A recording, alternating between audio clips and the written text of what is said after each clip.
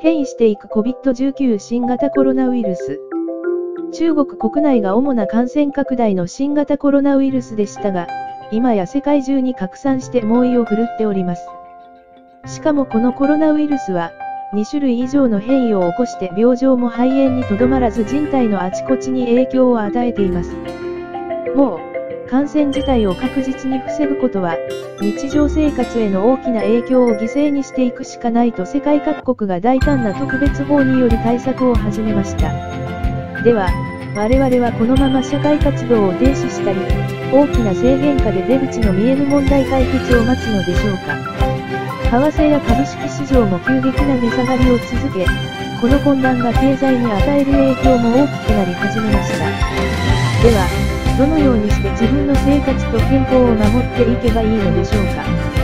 一部では納豆やヨーグルトを摂取して免疫力を高めて感染したとしても、大きな健康被害をもたらさないように予防する人たちが多くなりました。無論、医学的根拠はないのですが微生物科学の上ではある程度納得いく対処方法だと考えているということです。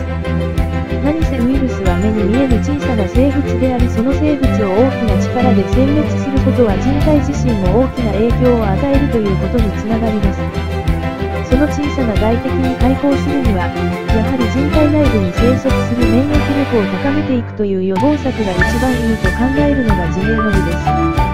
多種多様な人体に影響を及ぼす酵素と微生物は、今我々にできる最善の予防策と言ってもいいでしょう。人体に必要な多種多様の酵素と微生物を大量に含む究極の酵素水起源酵素は、この不安な外敵に対して大きな予防効果をもたらすと、我々は確信しております。お問い合わせは、エコロジーサービスは、令和時代の新健康促進をご提案できればと、